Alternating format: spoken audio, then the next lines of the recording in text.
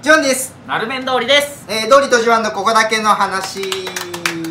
久しぶりの渡辺。はい久しぶりに来ましたねえ、はい 最近ずっとなるめんだもんね。あそうですねね、うん、ここでドリ君と撮るの結構久しぶりだなと。はい、で、えー、まず、うん、あのー、前回、前々回ぐらいにさ、はいあの、ドリ君の呼び名の話、あーね。ペロンス、うん。ってなんかいまいち定着してないよねみたいな話をしてたじゃん、はい。でまあそれこに対してねいくつかちょっとコメントが来てさおまずそれをねちょっとねあのー紹介しちゃうんだけど、はい。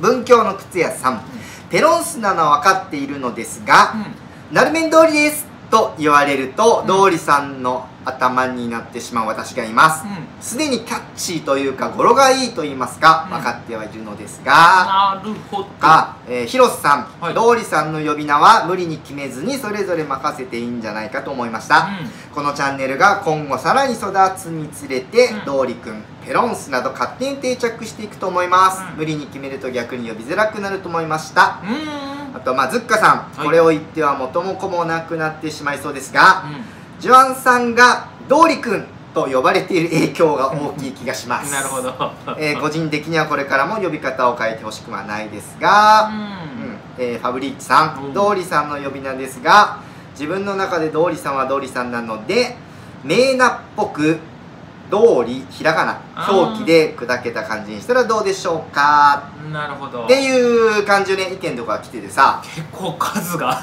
まあ他にもねあのコメント来てて、まあ今ここでは紹介できないんだけど、はい。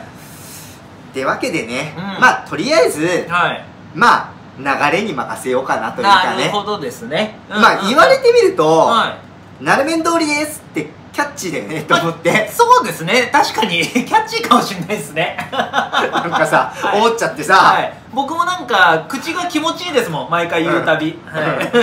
あ語呂いいなーって。なんでね、まあとりあえず皆さんね、好きなように呼んでください。ペロンスでももちろん全然いいし、はい。まあドリくんでもいいし、えー、じゃあちょっと僕あのー、ドリくんさんでもいいし、ドリくんさんでも全然ね、うん。ウェルカムですよ、うんであのー、あどうしようかなってこの前思ったのが、あのー、ツイッターのうん。名前、うん。あ個人の方、うん。え僕あとなるめ通り大輝メナ玉じゃない。の。かっこメナ玉。うん。メナ玉って日々のメーナのファンのことなんですけどあのー、そこにペロンスとか入れた方がいいかなってふうん。と思ったんですよね。うん。うん。うん。じゃあもうなんかペロンスとか入れても別にいいってことですよね。うん。うん。なんか別に決まり決めましたとかそういうわけじゃないから。まあとりあえず皆さん好きなように呼んでください。うんその中でまあ固まってくればいいかなと。うん。うんいう感じでございます。はいありがたいはい。でまあ、ちょ、あの、オープニングとか、もうい、あの、もう一つさ、はい。ねここはコメント紹介しないんだけど、はい。ね、いくつか何人かから、ちょっと最近、あのー、うちわネタが多すぎませんかみたいな、ちょっとコメントがね、うんうちはネタか。たね。その、はい。やっぱ、ペロンナイト以あーうんうんうんうんうんうんうん降、ペロンナイト参加者をいじるとかさ、うんうんうん。そこであった話をするとかさ、はい。ちょっとね、やっぱり多かったなと。多かったですねはい。確かに。これちょっと反省したので、そうですね。あの、うちわネタこれからだいぶ減らしていくつもりなんで、ここ今回から見る人もいるわけですからね。そうそうそう。ん。うん。なんでね、まあちょっとね、そういうね、あの、引っかかる方がね、うんうん。何人かいらっしゃったんで、うんうんうんうんうん。そう、ちょっと気をつけていきたいと思います。はい。はい、じゃあ、あの、いくつかね、またね、紹介していきたいと思います。はい。ねえ、安野さん、はいえーきっかけの話。まあ、えーこの YouTube を見始めたきっかけかな。でもこれさ、まあ、ちょっとね、んあ長いコメントなんだけどさ、は気になるところがありましいて、今、2倍速で4週目です。え えー、よええじゃないちょっとよさい。やこの YouTube チャンネル4週は結構きついっすよ。だって今の時点でも結構なもう本数だと思うんだよね。はい。で昔から別に短い動画じゃなかったっすもんね。あ、まあ、最初の頃は大体10分前後で気にしてた。いや。けどここのところはもうね、えー気にしなくなったから、はい。ちょっとさ、えー、2倍速ってことはだって10分の動画でも5分はかかるわけですよねそうだよ、単純そうだよね、多分ね。ええすごくないと思って。ー、すげえこれ、さあ、だって、そんなことしやってないでしょ？いや全く全く。全くいや僕もさやってないです。やってないからさ、はい。多分さ僕とか道理君よりさ、はい。内容覚えてるよね 確かに絶対覚えてますもう。4週目だと言ったら。安野さんに聞いたらもうこのチャンネルのことね詳しいよ全部わかるっていう。多はい。すごいなと思っちゃって。すごいなでも他にもいるのかなこんなもう。だって2週とかでもすごいと思うんだけど。はい。でえてかむしろうん。最近見始めた人がはい。最初から見返しましたっていうのでもすごいと思うんだけど。すごいと思う。それでさえ。はい。すごいよね。やっぱ僕見返すのってやっぱあのーあの回面白かったなとかで例えば、あのー星野さんが出た時とかああそういうのを見返したりとかっていうのはありますけどあこの間さ、はい。そうこれもねどう紹介しようかなと思ったの、あのー知り合いに言われて、もなんかねおすすめ動画で上がってきてひあの久しぶりにあれ見たんだけどあの面白かったって言われたのうがもあのパイン倉田が顔半分ぐらい隠して、うはい。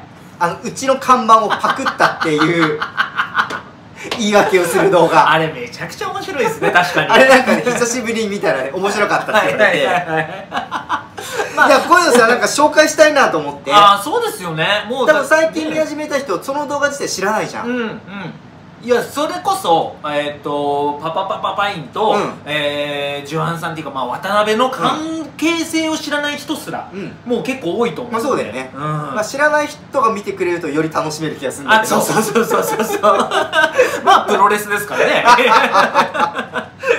ああそうだ。なんかそう考えると、うん。なんかなんだろうほったらかしにするにはもったいない動画結構あるね。そうだからなんかささどんどんねそういうのちょっと紹介したいなっていうさ、うん。まあこのさ道理とジュアンのここだけの話なんか割とさ、うん。もう雑談っていうか、うんが多いからはい全然スルーしてもらって構わないけど、うねちゃんと見たら面白いのはあるんでね、うん。それなんか紹介できたらなとは思ってます。はい。はい、次ね。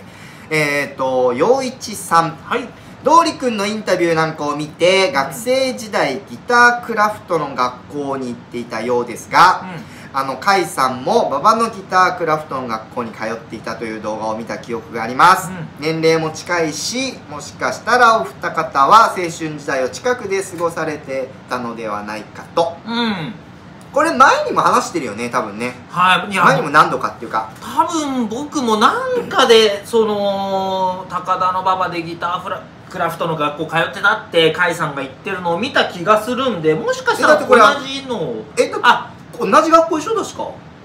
多分もうだかここの辺だと多分そこしかないんで、うん。うんはい、まあ間違いなくそうだ同じと思うんですけど。学校に通ってたって話をしたよね。はい。あれ年齢も近いんだっけ？年齢はまあそと離れてはいないと思いますけどあの人の方が上なのかな本当？多分ちょっとそれわかんないです。え下だったらどうしよう。でもまあまあ近いよね年齢もね。まあ近いと思います、はい。うんだからまあ学生時代ニアミスしてたみたいです。うんはい。はい。えー、次ねボスケテさん。はい道理さうん。ん2024ラーメン二郎食べ歩きの調子はどうですか？あこれね。はいはいはい。あれ多分今年初めぐらいにはい。さ、う今年はちょっと集中的に二郎回ってみようと思いますみたいなことを言っん、もうだなねんならうん全店制覇しますって、よ。もうバーってこ公言しました、はい、もう今9月終わるよ。そうですね。9月終わりの現時点でどう？えー、多分78件ですね。これもう諦めムードかなこれは。しかもあの都内近郊のばっかり。まあなんかちょっとラッキーパンチで京都行きましたけど、ね京都行った はい、もうでもか関東よりもあもう上っていうか東の方がもう全く行けてないんで。札幌はい。仙台はい。会津若松、はい。栃木。栃木あたり？うんあたりが全然行けてないんで。あとあれか群馬前橋？ああそうですね。ああそうだそうだ。いやもう無理じゃないですか。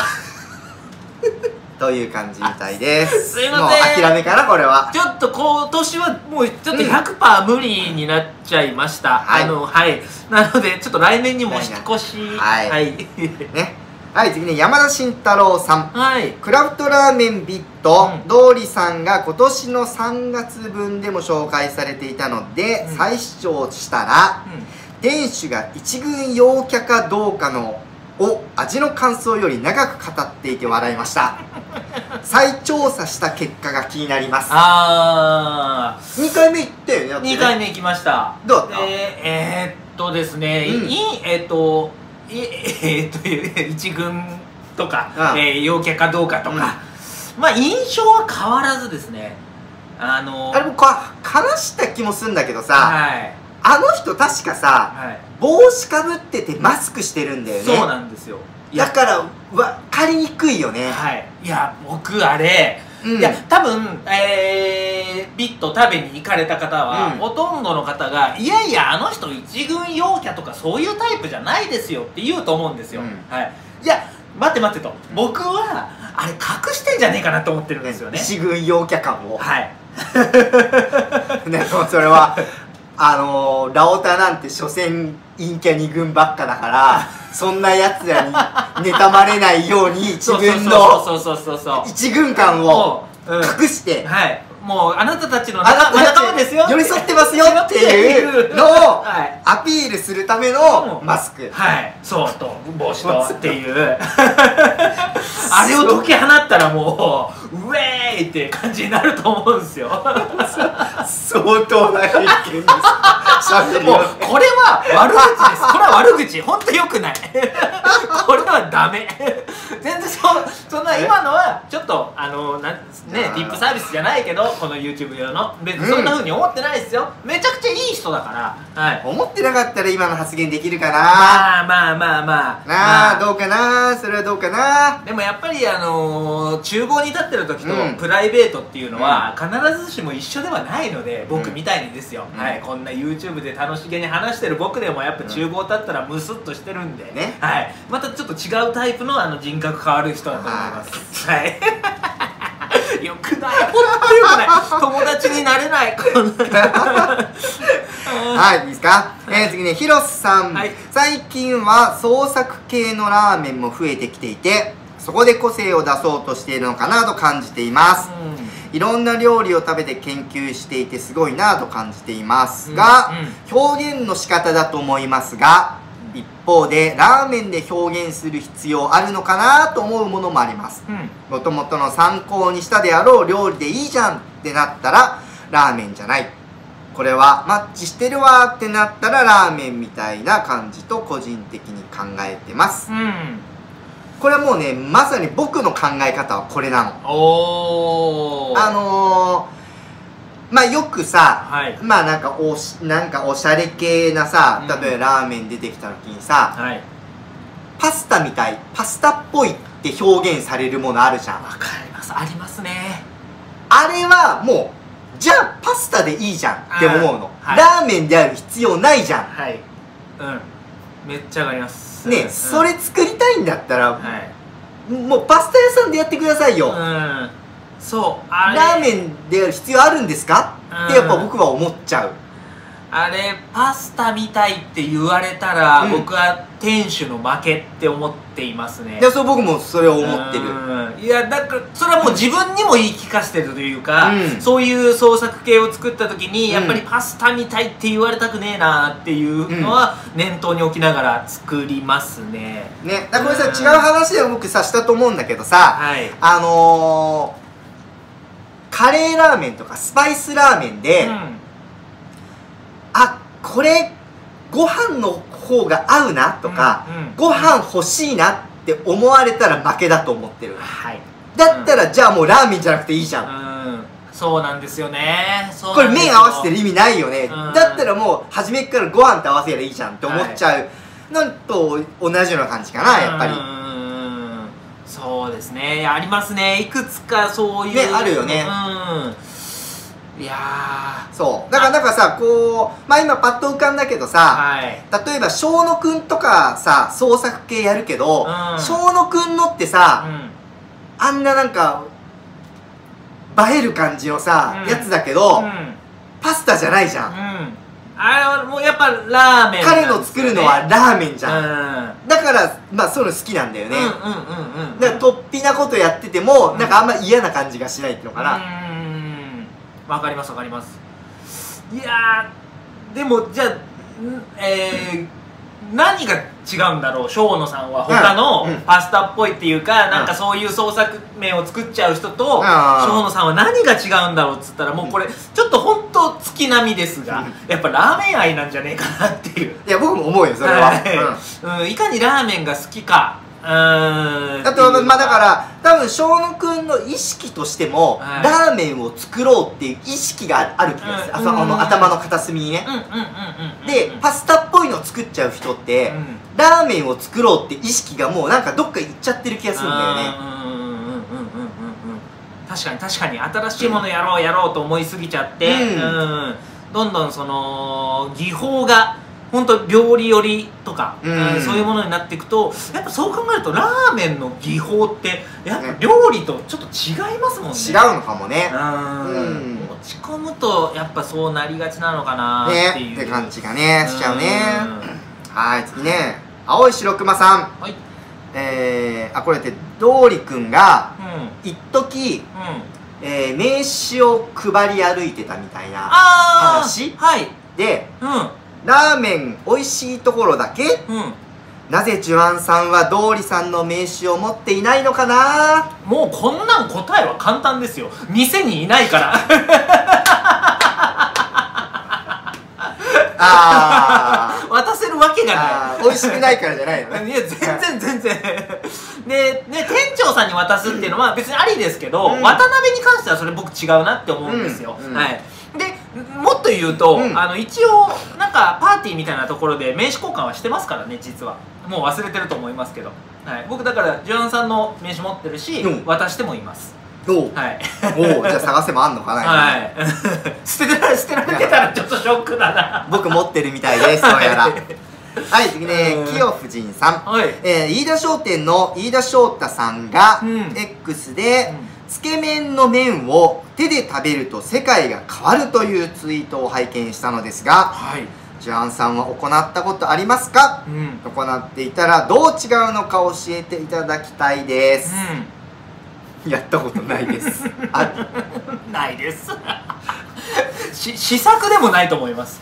なんだろうね。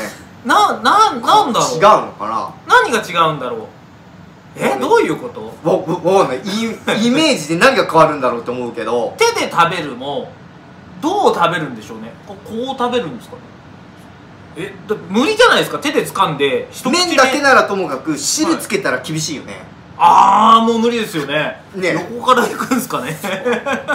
まあさこのまあもちろんつけ麺では僕ないけどはいあのー、カレーとかではあるんだよね。ああ僕まだまあないんすよ。それやりたいんすよもちろんまあ日本ではやったことないよ、うん。その外国でさ、うん。あのー、はあるの、うんカレーをこう手でね、はまあ確かにスプーンで食べる時いとはい。いまあなんとなく印象は違うけどあこんなね世界が変わるっていうほど変わるかっていうとーうん。そんな変わんなくねって思っちゃうけどやってみてよ。やってみようかな。なんだこれ見て僕は全然興味が湧かないんだけどさ。はい。えだってあれどうでしたっけ？飯田商店のうん。つけ麺って昆布水でしたっけ？いや今もう違うんじゃあない？違うのか。いやももし昆布水だったらすげえ嫌だなと思って 単純に。手に寝と寝とってくるのかな？寝とってでもちょっとじゃあだったらやってみようかな、まあうんここまで言うんだったら僕結構飯田さんは好きな、好きな人なんで、うはい。じゃあぜひね、うん。やってみてね。はい。はい。次さかなさん。はい。ジュアンさんのセンス発言は予想通りでした。うん。あれか。えっ、ー、と教え子？とかのどこを見るかみたいなとこの話じゃない、うちのスタッフのね、はい。うん、で僕はもうセンスですみたいな、うん。うん、ラーメン屋さんではないですがスパイスカレーロカの店主さんなどな何を作ってもセンスが感じられそうな方がお好きなんだろうなと思っていました。その通りです。あロカの店主さん大好きです。ー。あうん。ーロッカー僕宿題店なんですよいや何度かチャレンジしようと思ったんですけど結構貴重性そうそうそう基調が結構、うんなんかあのー土日ってあんまやってないんでしたっけどうだったっけちょっと覚えてないんですけど、とにかく僕が行けるなっていうタイミングが大体もう超混んでるっていうか、そのもうそ基調がすげえ朝早いとかで、結局まだ行けてなくてこれはねおすすめですよ。あーほんとねいやっぱね僕ツイッターで書いたと思うんだけど、はい。何食べてもうん。美味しいの、だからほんとねセンスがあるんだと思う、はい。この店主さんは、うん。いやそのセンスの話で言うと、うん。僕このロカの店主さんが、うん。えっと作った監修したラーメン食べたことあるんですよ。おおああのナギと一緒にやったやつ。そうなんだ、はい。へええー結構美味しくて。あそう。はい。だからどこまでこの店主さんがやったのかは分かんないんですけど、そういうセンスっていう意味ではちゃんとラーメンとしてめちゃくちゃ美味しく仕上がってたんで別にカレーとかじゃないんですよ、うん。煮干しラーメンなんですよ。作ってて、うん。いや上手だなって。だからこれってセンスだよなってちょっと思っちゃいましたね。あの人はセンスある。間違いなく。うん、うんああもうちょっといよいよ行かなきゃな、うん。はい。はいそうですよ。はい。はい次ねせやにみちるさん。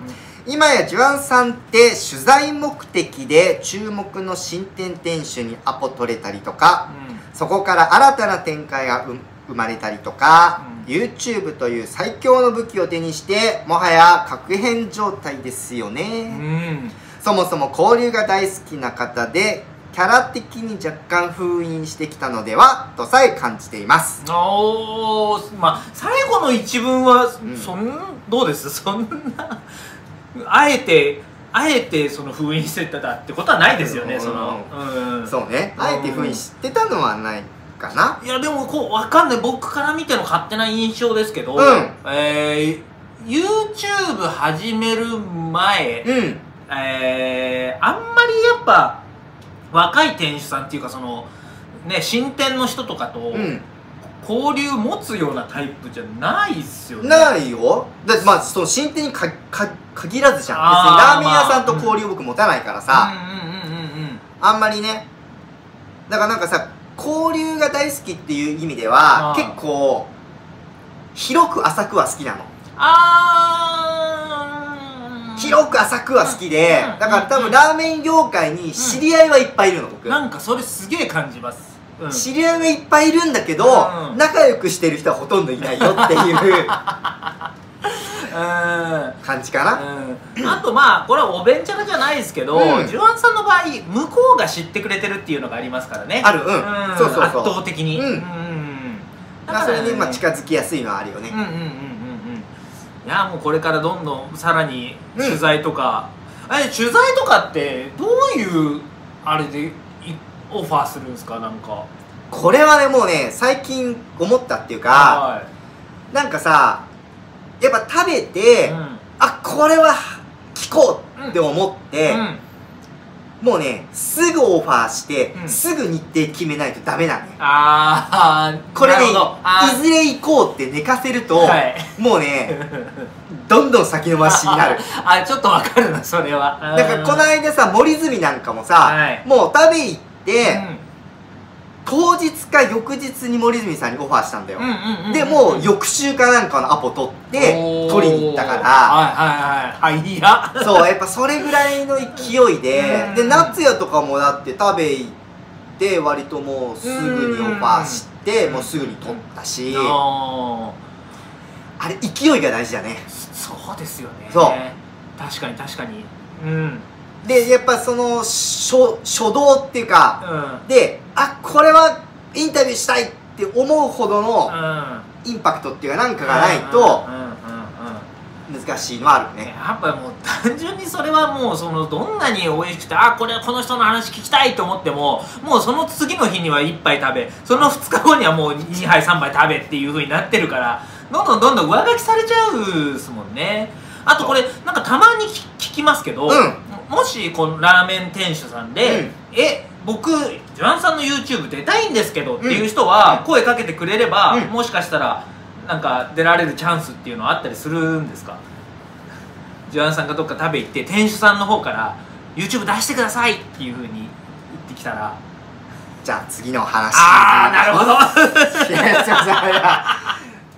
難しいよねこれさ、まあそっか。そっか。ごめんなさい。僕もそれは意地悪なあれでした、はい、いやー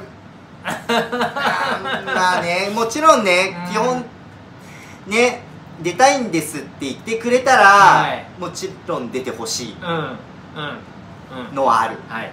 うんうん。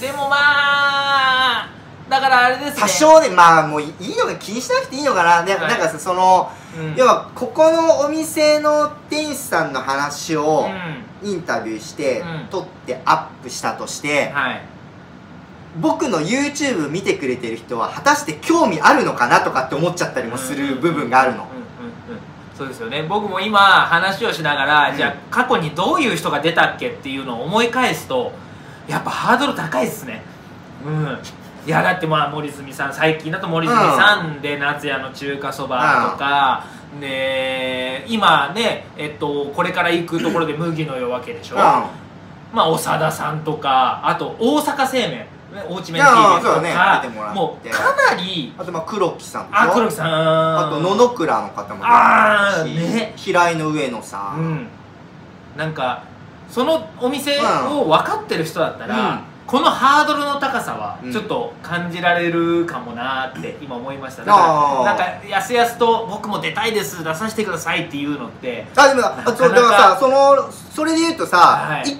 一件時空お時空の方は向こうから言われたの。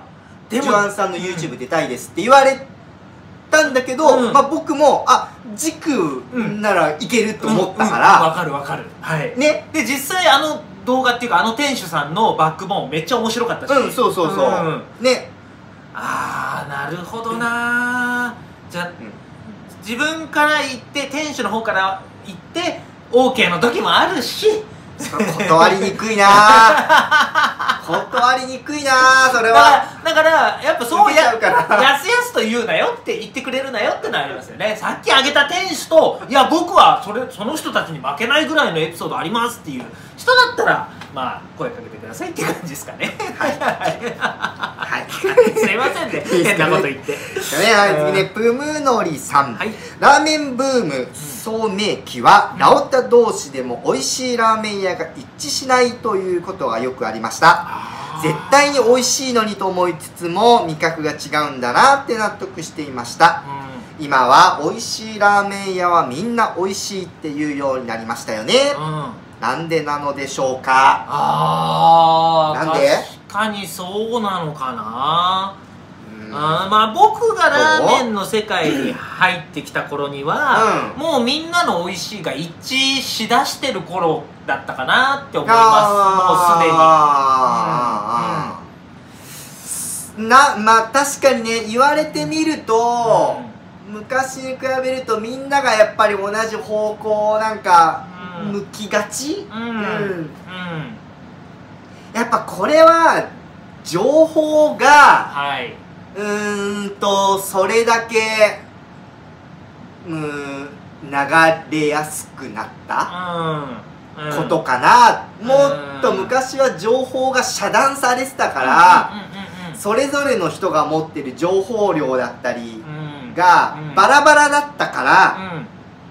結構好みもバラバラになったって部分がうん。ある気がする、うんうんで今はもう情報量みんラオタであれば多うん。分みんな同等の情報量を持ってて、同じような意見も聞いてて、はい。そうするとなんとなくそれに、うんうん。似通ってくるっていうのはあるのかな、いやー僕は結構それだと思うんですよね。やっぱりえー毎年このチャンネルで、うん。でえーやってるプレイヤーズチョイスアワーうドの、まあ、やっぱりえー、回の回の方になればなるほど、うん。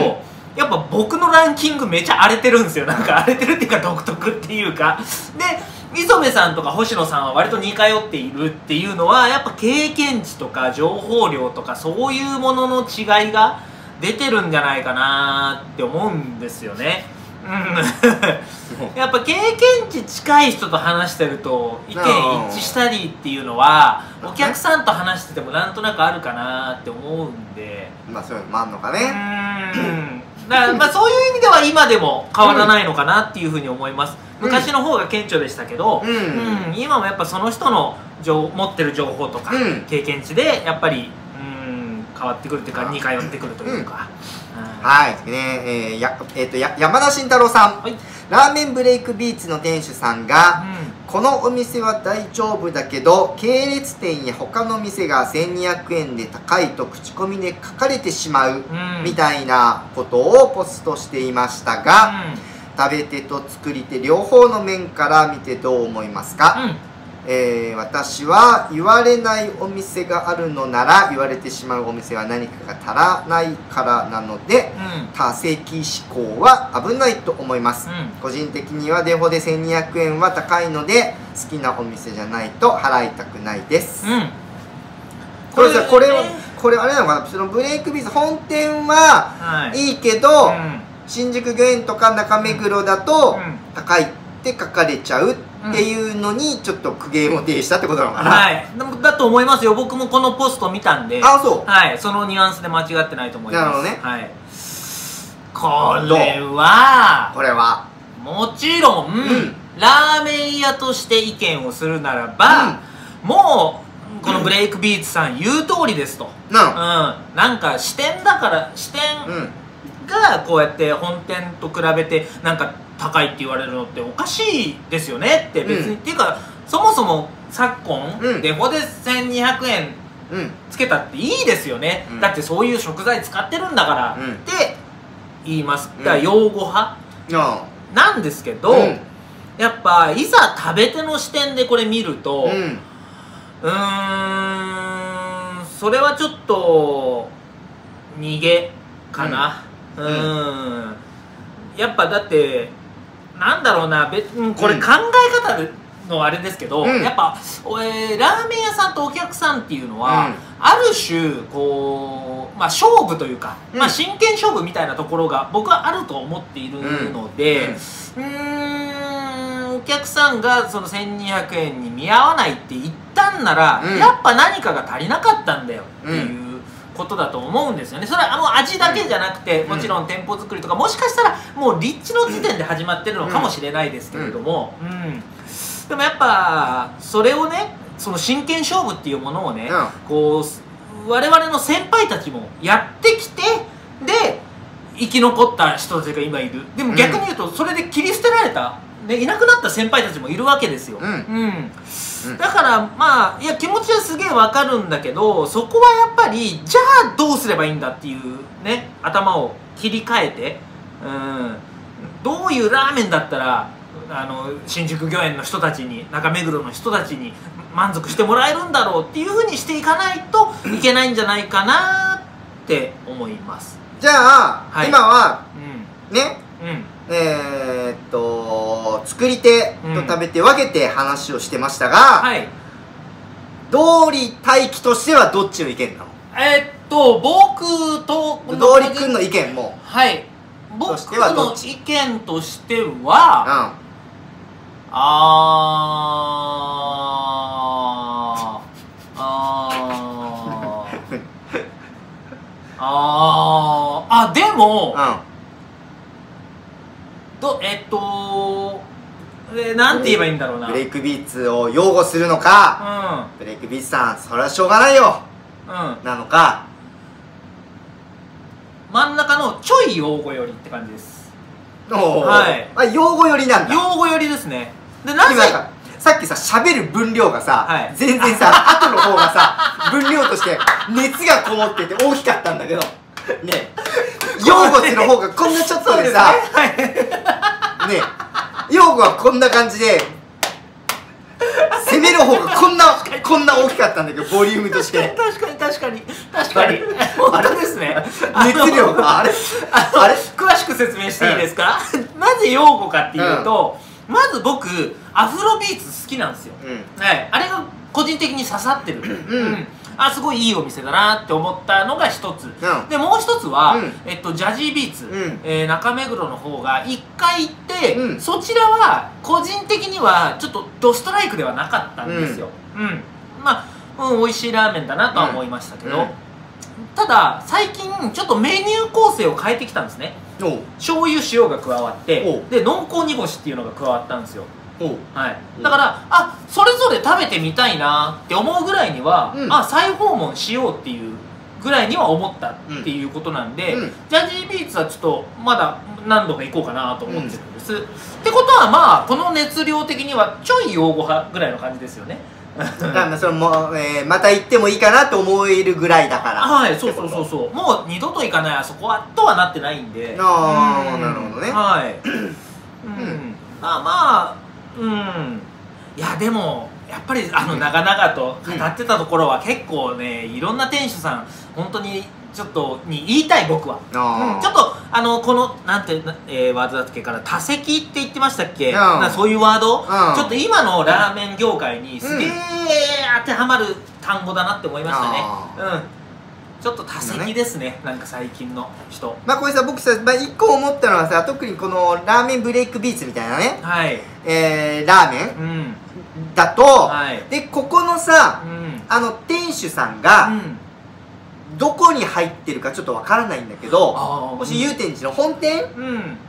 にしかうん入ってないんだとしたら、しょうがないっていうか、うん。このラーメンにおいては、はい。あの店主さんがいるだけで、うん。うんプラス200円はしていいと思うの。ああそれはすげえわかる。逆に言うとあの店主さんがいないのであればいる店舗よりもやっぱ200円は下の値付けをしないといけないと僕は思う。ああわかる。すそういうふうにやっぱ感じちゃうと思うお客さんは。っていうかこれすごい今いいこと言ってますよ。いいことっていうかなんか目から鱗というかあーその視点なかったって思いました。店主に乗っかってる値段ってありますね、うん。すげえある。だからこれお店によるからさ、あれなんだけどこのブレイクビーツに言えば、うん。うんあのと時ああいうラーメンでしょ？はい。だからやっぱあの店主さんにやっぱ値段はね上乗せできると思うんだよ、うんうんうんうんうん。だから逆にやっぱいない店ではああそうだわ。マイナスにしないとね、いけないと思う、うんうんって僕は思うかいやでもこれもうこれブレイクビーツの店主さんからしたら僕,、うん。僕から見て、なうん。もうこんな惨事はないですよ。だってあなたの、うん。あなた自身にうん。値段が乗っかってるんだからっていうことだから、これはすごい本当にほとんどの人ができないことですからね、まあね。実は、うん。いやーなるほどなだね。うん。でまあ思いますね。ははい次ね。えー、お茶の水新幹線さん、はい面線整えることに神経を使いすぎて、面がくっついているのは本末転倒と思いました。うん。これさ、はい。結構あるあるじゃない？うんこれあります。面線整えてるお店あるある。あの僕経験ありますやっぱり。あーってなったことあります。いやこれはさうん。もうあれだよね。うまあ面線整えてるお店に聞いてみてくださいんまあっていうさ、本当ですね。僕はもうそれが分かんない。うんうんうん。でもあれですね。だからそれこそでもまかないの時もてか味見の時とかもやっぱ整えてから食べますよね。どんなのね？まかないの時はもう適当に切ってやってやってんですかね可能性はあるよねうんあどっちなんだろうそれも気になりますねねああ面白いそうまあこれまあ本当あるあるだよね。まあそうですね。まあ今後もねこれは多分なくならないような気がしますけどね。うん、ねはい。ねゆかりさん、はい。えー気になるのはゆで湯の状態でしょうか。あ某荻窪の老舗は常にドロドロでかなり萎えますね。うん。坂戸丸町のようにロットごとにお湯を変えてる店は多少回転が悪かろうが好感が持てますね。うんゆで湯の状態は正直もうテ,、うん。テクニックですよね。うん？えおお湯えゆで麺機のお湯が常にきれいにできるかどうかっていうのはもうちょろちょろ出すだけじゃないの？あまあまあまあだからでもそういうことですよ。はい。いやでもちょろちょろだとおあだから追いつかないお店もあるってことなんじゃないですか？荻窪の老舗がどのぐらいのキャパのお店なのかわかんないですけど、のゆで麺機で言えば別にちょろちょろで全然。うんうん。いけるよ。うんうんうん。まあ大体は本当はそうなんですけどでもでもありますよね。ドロッドロになってるお店。たまに見ません？よね。ああいう流せないゆで麺機。だから寸胴でさ茹でてるとこだとさなりやすいじゃん、はいうん。それはもう、うん、ね。うん。でも基本的にはこう流せるようになってて、うん。水も足せるようになってて、うん。だと、まあどうなんだろうね。まあ泥のとかあるけどね、まあねまあさまあ食べる側としてさはい。気になるタイプ？あんま気にならないタイプ？えーっとあーまあそのゆで麺機を、うん。ななんだろうお店行ったら必ず見るチェックするなんてことはしないですよもちろん、うでもパッと目に入ってドロドロだったらあーとはちょっとは思いますちょっと。うん。あはい。いやこれ僕ね個人的にねあんま気にならないの、うんうん。そこまで。もうまあ、はい。やっぱねそのドリ君言うようにさ、行ってねカウンター座る、うん。でゆで麺機が見える。うんはい。でドロドロを見ちゃう、ん。あーって思うよ、うんうんうん。そうなんですよ。僕もだってみけどなんか、うん。でもそれでそこまでテンションは落ちないっていうか、うん、そうなんですよね。これ、でうん別にちゃんとその状態でも、うまく茹でられる人は茹でられますからね、うん。そのタイマーでやってたらもしかしたら変な状態で出てくるかもしれないけどちゃんと茹で具合見ながらやってたらまあいやこれねあるんですよ具体的に。なんかああそこはああだったなっていうのがあるんですけど結局そこは美味しかったんで。はい。いや、うん。でもさこれなんかさラーメン屋さんでもさうるさい人はうるさいじゃん。いますいます。めっちゃいるじゃん。はい。うん。ね。わかりますなんかなんかね誰だったかな？うん。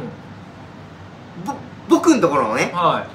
教え子のね、うん。誰かがねうるさいんだよ。ああなるほど。誰だったかな？源だったかいやでもみんな怪しいですよ。そうそう誰だったか覚えてないんだけど、はい。やたらうるさいのがいて、うん。なんかねきそのドロドロのゆで麺機とかそのうん。お湯を見ると、うん。お前このお湯飲めるか？みたいな、つまりこのお湯がはい。麺の中に入ってってるんだぞ、うんそうそううんうんうん。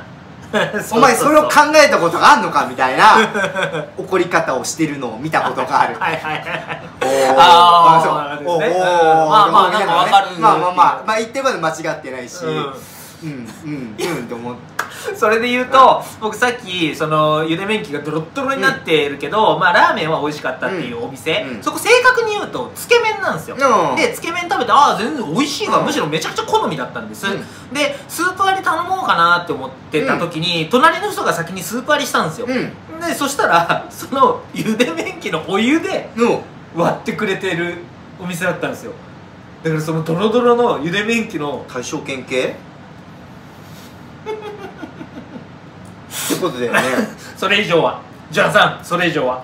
だってあれ山岸さんがだってさ 茹で汁で割る派だったでしょ？ああはいはいはいはいあゆで汁推奨派だったんだよね。はいはいなんか聞いたことあります、うん、スープだと濃いみたいな、はいはいはいはい茹で汁で割るのがちょうどいいんだみたいな。は いうん。じゃあ次のコメントいきましょうか。はいという感じでね今回もああのいろいろコメントあの紹介してみました。またあのコメントもらえると紹介できるのとあとはハンドルネームを本文中に書いていただけると名前も紹介できるのでぜひハンドルネームを書いてください。よろしくお願いします。お願いします。それでは